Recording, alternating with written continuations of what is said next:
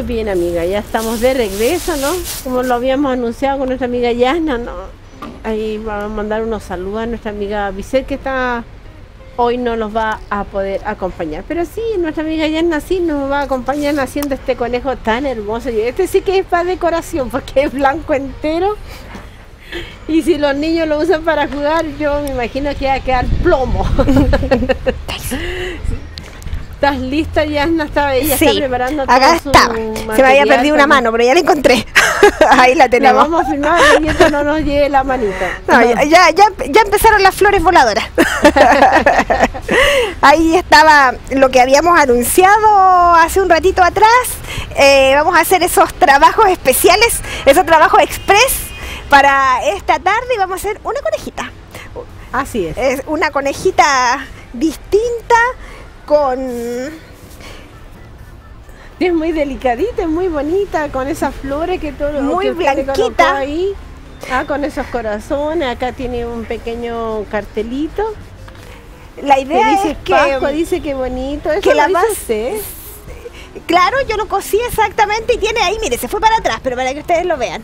Ahí adelante un conejito también Ay, para que vaya. detalle, ahí está, que vaya en el tono. lindo. Si ustedes se fijan, toda la decoración es una niña, es una coneja y toda la decoración está en calipso. La que vamos a realizar ahora va a estar en rosado. Claro, es una El celeste conejita. no es solo para los niños, también No. para las niñas. Así que se puede utilizar también, eh, ustedes elijan el color. Y si lo van a hacer para varón, a los niños normalmente no les gustan las flores, pero por ahí podríamos cambiarlo a lo mejor con otra Con decoración. hojas, no sé. Claro, un moñito de cinta, ahí podemos ir variando. Muy bien, vamos a ir a la lista de materiales. Vamos. Los materiales para este lindo proyecto son los siguientes.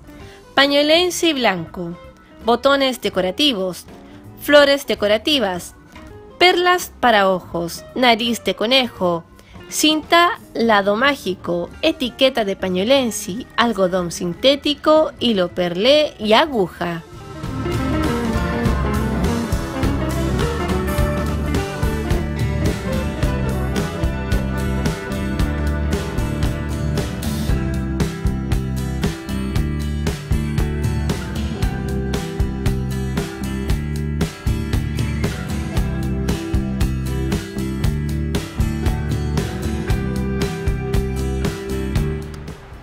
Muy bien, ahí estaba la lista de materiales, entonces vamos a, a seguir trabajando este paso a paso para que usted va a ver, hoy nuestra amiga Yana va a empezar a rellenar. Hoy ¿no? día vamos a rellenar, para vamos que a usted hacer vaya distinto. viendo cómo ella hace los rellenos. Exactamente, vamos Porque cada a... monitora tiene su forma, su técnica para rellenar. Exactamente, y todas hacemos las cosas a lo mejor. Podemos hacer todas conejos, pero van a quedar todas distintas, ¿cierto? Tenemos distintas maneras de coser. Y la idea es que usted pueda eh, ampliar a lo mejor el abanico de posibilidades para que usted encuentre la manera que sea más cómoda para usted. Lo primero, moldes. Facebook, Casa Puccini, álbum de fotos, Pascua de Resurrección 2017. Ustedes lo van a imprimir, si es que no son de Antofagasta, lo sacan desde el Facebook. Lo primero tenemos la base que va a ser nuestro cuerpo.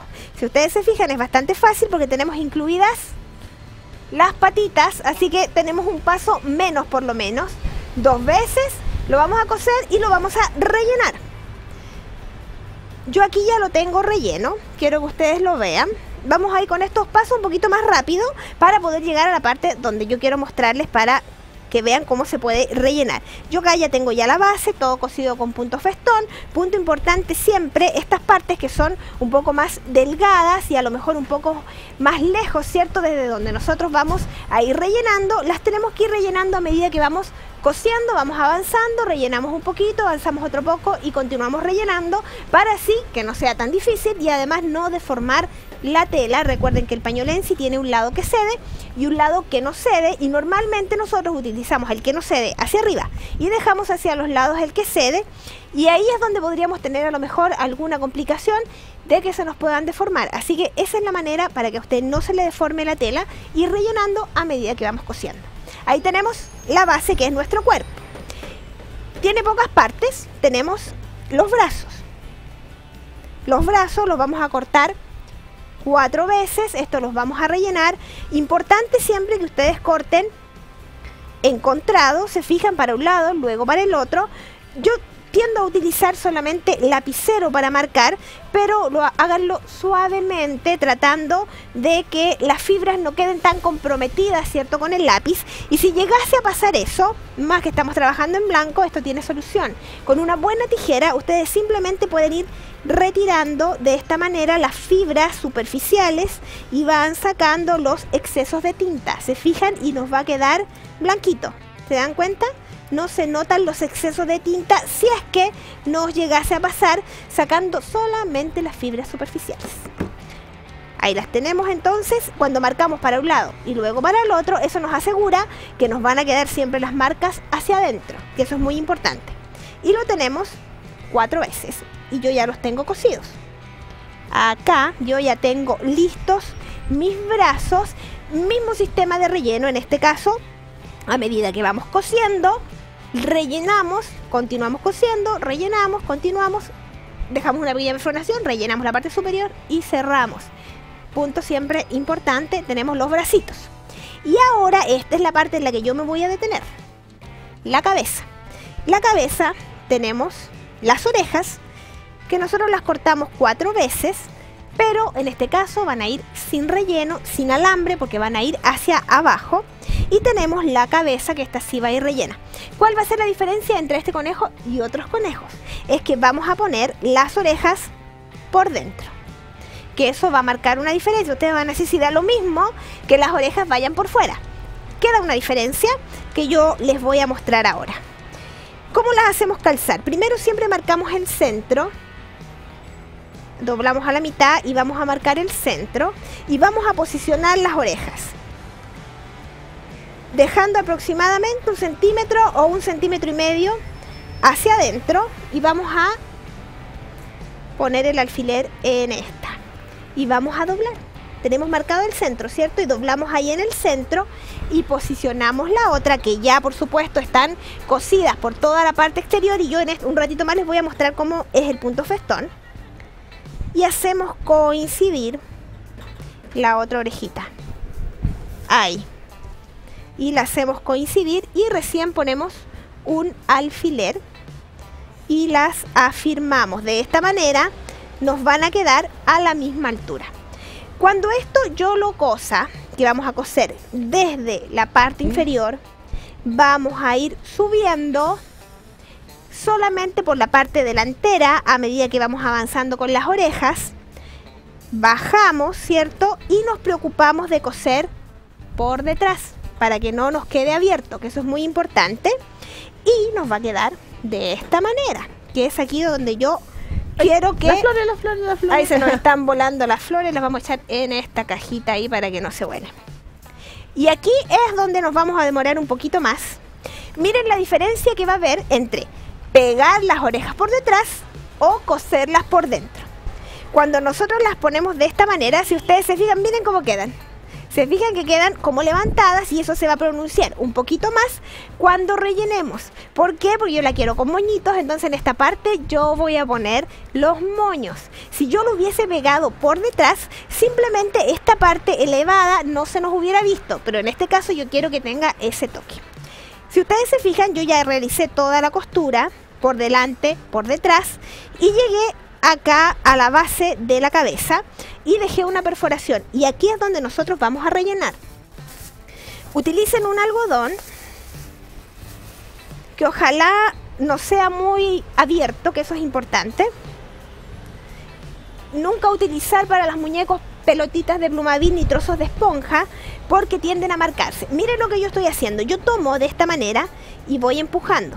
Suavemente. Se fijan Distinto es que nosotros tomemos de acá y empecemos a empujar y empezamos a deformar la tela. Yo tomo y afirmo la tela, ¿se fijan? Poniendo un tope para mi propia mano. Con mi otra mano yo voy a hacer un tope, ¿se fijan? Para no deformar. Y continuamos rellenando. Y algo también que es muy importante es ir dando la forma en los costados, ¿se fijan? De esta manera. Con los dedos vamos dando la forma en los costados. Si nosotras solamente vamos rellenando, nos va a ir quedando hacia cualquier lado y no nos quedan marcados estos pliegues que tiene o estas redondeces que tiene, si nosotros no llegamos hasta ahí, hasta el fondo, no nos van a quedar marcaditas. Así que de esta manera. Y miren, donde nosotros cosimos las orejas nos quedó un poco vacío, así que nuevamente utilizamos nuestra mano como tope y vamos a llegar hasta el final para que no nos quede tan vacío, a pesar de que vamos a poner las flores encima. Cuando ustedes ya lo tengan relleno, continúan cosiendo y aquí es donde yo les voy a mostrar cómo lo vamos a ir cosiendo. ¿Se acuerdan que yo les he dicho que hay distintas maneras de ir realizando el punto festón? Yo no tengo el algodón. Ah, ¿Y ya eso tiramos. ¿Cuál? El algodón se lo tengo para que Ah, no, se- ya lo... Ah, ya. ya lo hice desaparecer. Ahí y vamos a ir realizando las puntadas con un dedo. Nos vamos preocupando de ir tirando hacia abajo el algodón para que no se nos salga y vamos realizando el punto festón por la orilla. Si ustedes se fijan, yo realizo una lazada, luego paso por detrás. Nuevamente con el dedo empujamos un poquito el algodón y después continuamos cosiendo. ¿Por qué yo empujo el algodón? Que tiene una razón técnica bastante simple.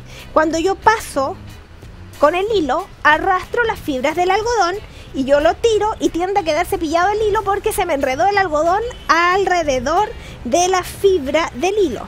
Así que por eso lo vamos empujando hacia abajo para que no se nos enreden las fibras del algodón con las fibras del hilo. Vamos a ir llegando hasta el final porque yo quiero que vean cómo vamos a rematar y vamos a perder el hilo, que son cosas que a veces no hacemos por tiempo, pero como este era un conejito que a lo mejor era relativamente más fácil, vamos a ir poniendo atención a esos detalles. Yo llegué al final, miren, ahí. ¿Se fijan? Donde yo comencé, ahí es donde yo termino y ahora voy a perder el hilo. Lo tomo y lo introduzco nuevamente y por detrás busco la perforación donde yo realicé la puntada. En esa perforación yo salgo, vuelvo a entrar, salí, volví a entrar en la otra perforación y vuelvo a salir en otra y no va a quedar ni una marca, ni siquiera se va a notar dónde está el hilo. Y lo vamos a cortar. Y eso va a ser un lindo remate, va a quedar perdido el hilo y no se va a notar absolutamente nada. ¿Se fijaron? Yo ya lo tengo listo y miren. Y ahí ya notamos que la cabecita se ve distinta y tiene algo de volumen, ¿cierto? Las orejitas. ¿Qué hacemos ahora? Vamos a decorar la carita. Como siempre marcamos ahí la nariz, marcamos dónde va a ir. Y desde ahí vamos a hacer la boca, que en este caso yo lo voy a hacer con hilo negro. Ahí y marcamos hasta arriba, hasta donde mismo nosotros entramos, vamos a salir. Ahí. Probamos nuevamente la nariz para ver dónde vamos a poner. Se fijaron que ya no es necesario que cortemos el hilo. ¿Dónde vamos a poner los ojos? Y a esa altura saco la nariz y entro con la aguja hasta allá. Ahí.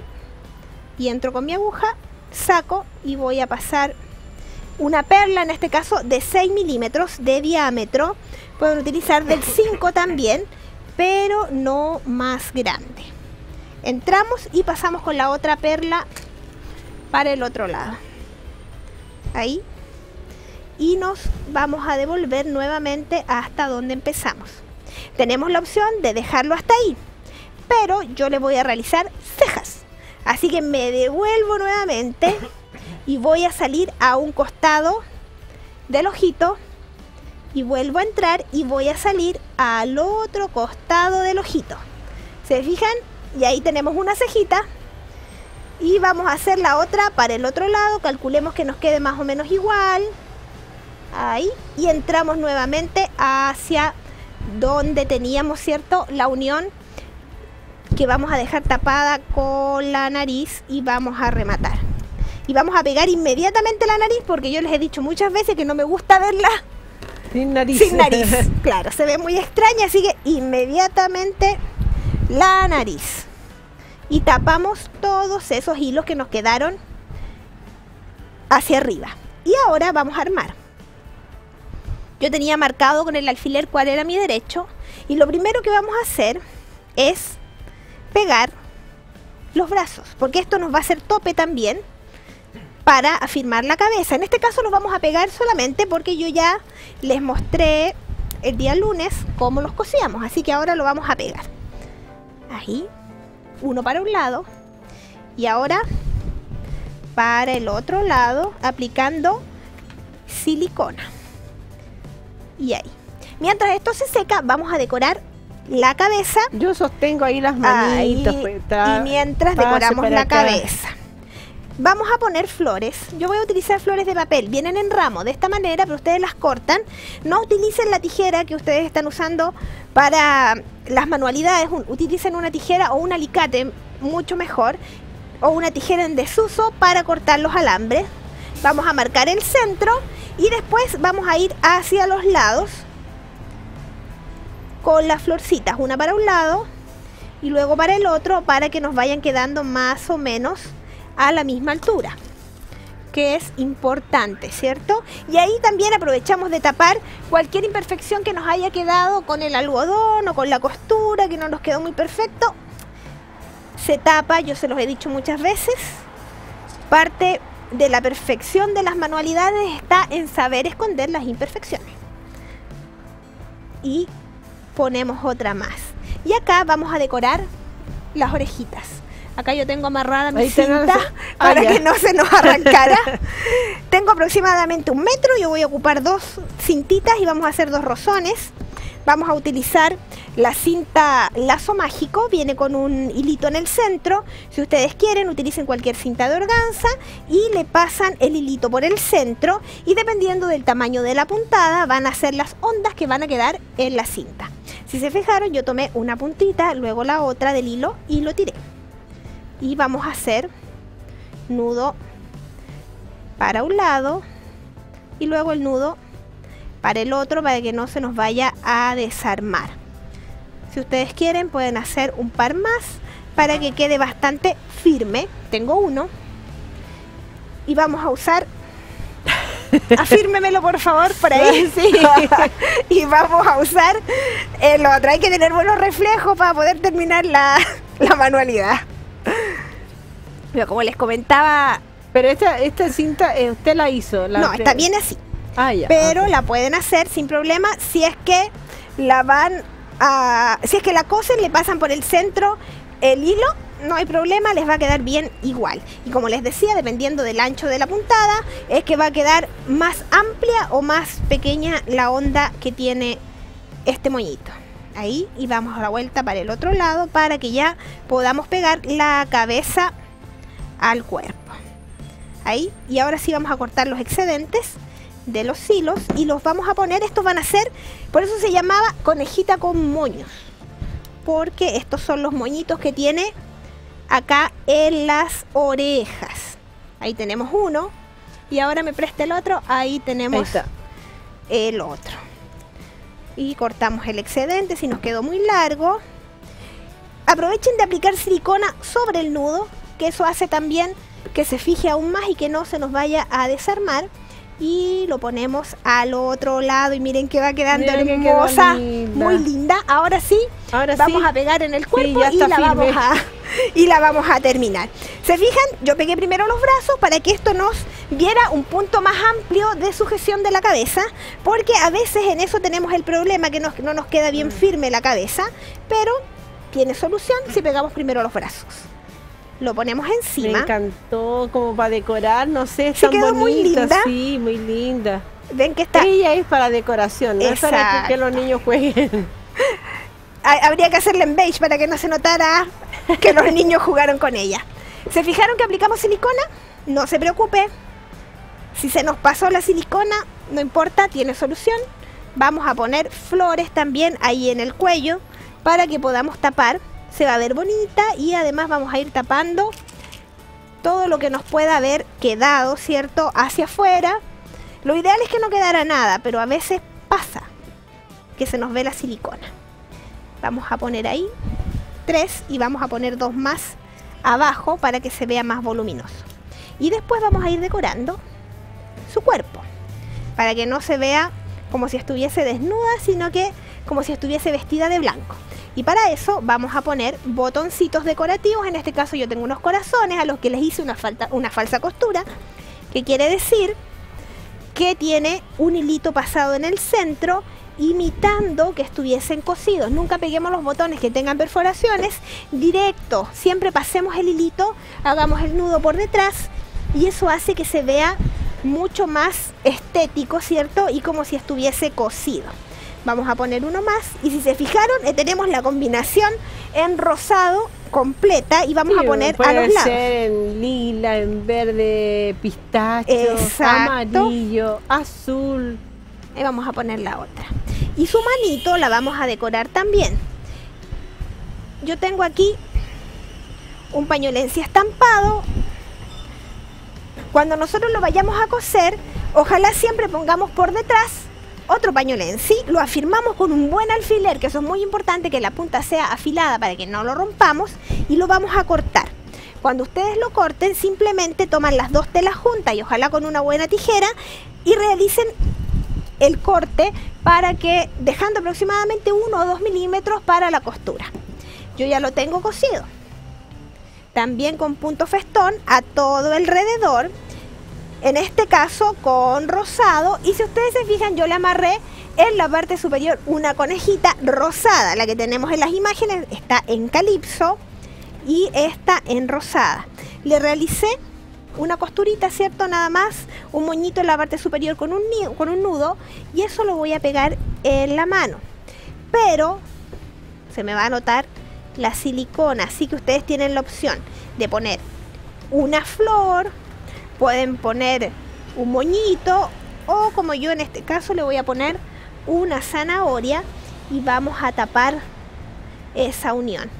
Sacamos todas las hilachitas de la silicona y miren que está bella esta conejita para que podamos disfrutar junto a los niños una feliz Pascua, tal como dice ahí la etiqueta Felices Pascuas lista para regalar. Muy bien, me gustó cómo quedó nuestra Conejita Express. Nuestra conejita express. No, no es tan express, tiene detalle. Ahí la vamos a poner al lado de la, de la calipso. Ahí quedaron muy linda, juntas. Muy linda, me gustó. ¿ah? Sí, tan delicadita que están los blancos, están así tan delicaditos de tocar así. Una de, la, de las épocas que me gusta más, aparte de la Navidad por supuesto, es la Pascua de Resurrección, porque es como entretenida y se hacen cosas como muy tiernas, porque son especialmente para los niños. Así que hay que aprovecharla si usted tiene niños en la casa para que haga cosas bonitas y disfrute con los niños la Pascua de Resurrección y sea un día distinto, que eso es importante. Así es. Vamos a la lista de materiales. Los materiales para este lindo proyecto son los siguientes. Pañolense blanco, botones decorativos, flores decorativas, perlas para ojos, nariz de conejo, cinta lado mágico, etiqueta de pañolensi, algodón sintético, hilo perlé y aguja.